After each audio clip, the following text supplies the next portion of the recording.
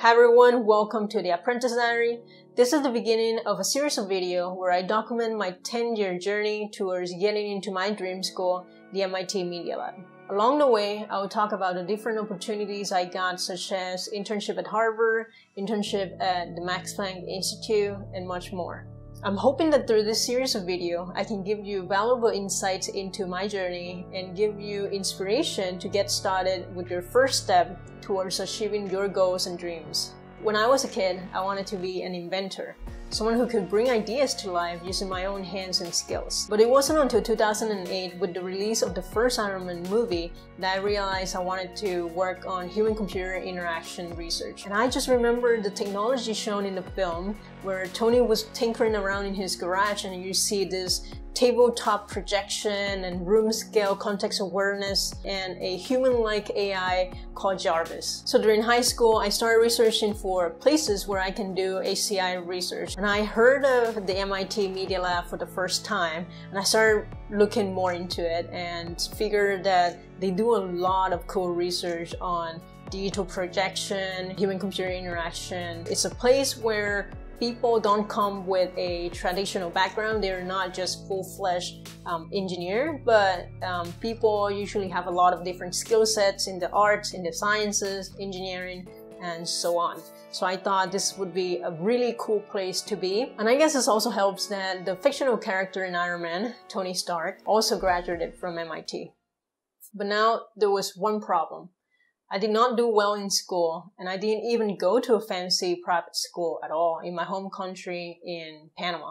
I ended up with a 3.5 GPA during my senior year of high school, and I literally failed the SAT twice, getting below average score. It was terrible. I remember almost fainting during the test because I've never done a test for that long, and I didn't eat and had a lot of anxiety going into the test. I also did the TOEFL twice, which is the test that international students have to take to prove their English proficiency. I think I got a 90 out of 120 and for MIT the minimum requirement was 90 and the recommended score was at least 100. Additionally, even though I really liked human-computer interaction technology, I didn't actually do any project to show that passion. I guess I didn't know that you can look online for tutorials and just follow those tutorials to, you know, invent things by yourself.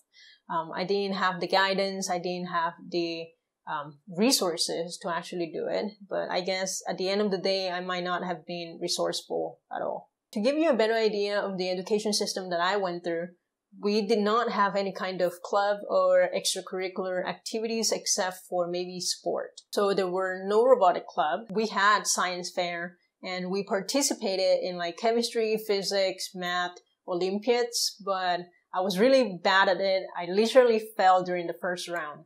Honestly, I think I was just not good enough at anything. I was not good academically. I was not good at finding resources. Um, I think I was just trying to stay alive um, during my time in school. So I decided to not apply to MIT for undergrad and just try my luck at other university. I got rejected from Purdue, Georgia Tech, and all the UCs.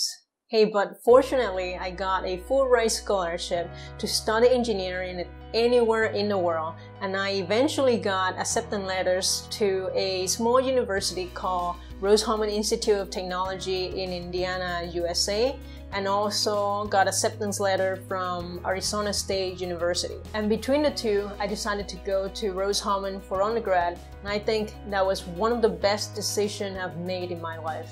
The difficult access to learning opportunities in Panama made me realize that I missed out on a lot of different experience that people here in the US have. So I trying to gain those experience back by joining multiple clubs, overloading in my classes, participating in different activities such as hackathons and different kind of events. I could get into the specific if you're interested, but long story short, it took me way too many steps, basically a 10-year journey to get into my dream school, the MIT Media Lab. And that was after applying twice. It was so freaking unreal when I got the acceptance email. I could not believe it. And the first thing I did was to call my dad and tell him that I got in. And he literally called me several times during that day asking if it was real, if it was a scam. Anyway, if I was able to achieve this dream, I feel like anyone can as long as they are persistent and they are constantly working towards improving themselves. One day you will be rewarded for all your hard work, so stay positive and stay hopeful. As part of this series, I'll be sharing the details into how I got the opportunity to work at Harvard, Max Planck, and MIT. And at the end of each video, I'll be providing tips and step-by-step instruction that you can follow to improve your skills. Let me know if you have any questions or want me to cover a specific topic of my journey in the comment down below. Share the videos with your friends. Show some love by hitting the subscribe and the like buttons. Stay strong and I will see you in the next one.